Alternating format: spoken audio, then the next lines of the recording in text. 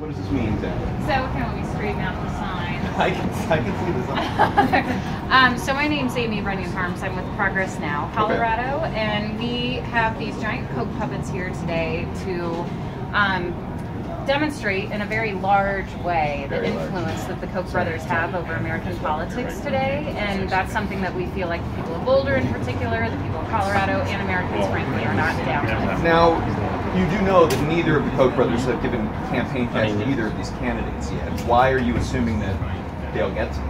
Well, um, first of all, they haven't made any specific uh, picks. They're no, they, they they're, haven't. They're playing the field a little but bit it right seems now, like you're sort of labeling Jeb and, and Rubio as Koch uh, receivers of Koch money in this campaign without actually them having gotten it. But they have both indicated that they would be open to it. Okay, so this is an assumption.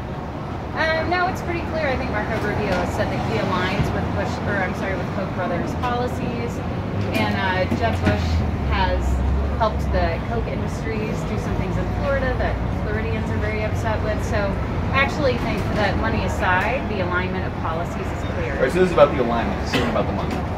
Right. What's Correct. the worst thing the Kochs are doing right now? Uh, I. What's the worst thing they support that you are most upset about? I'm not sure that we have enough time. No, you don't have enough time. There's too many things. Hey, one thing. Uh, they're horrible on education. They're horrible on women's health. They're horrible on environmental issues. I could go on and on. Okay, all right. So just just everything in general. They're All right. Well, they're not quite as scary as these puppets. I have to tell you. Well, we're, we'll let the Did- people did you decide. make these? I did not. They're- they're- I wish I were that talented. Be careful if there are any children around.